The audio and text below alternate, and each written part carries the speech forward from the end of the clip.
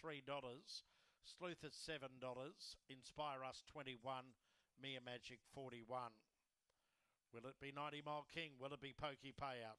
The small field suits both runners. Just about ready to run for the third event of the night.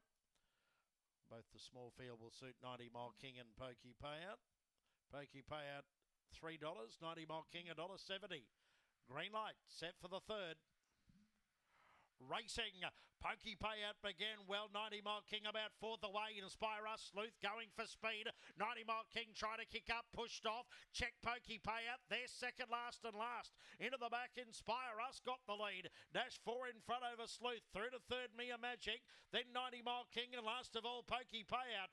Coming off the back, the leader is Inspire Us by four lengths over Sleuth, followed by Mia Magic. Then 90 Mile King and Pokey Payout, but it's all Inspire Us. Inspire Us raced away six lengths over Sleuth. Third, Mia Magic. If you'd said 90 Mile King had run fourth and Pokey Payout had run fifth, they'd call for the men of the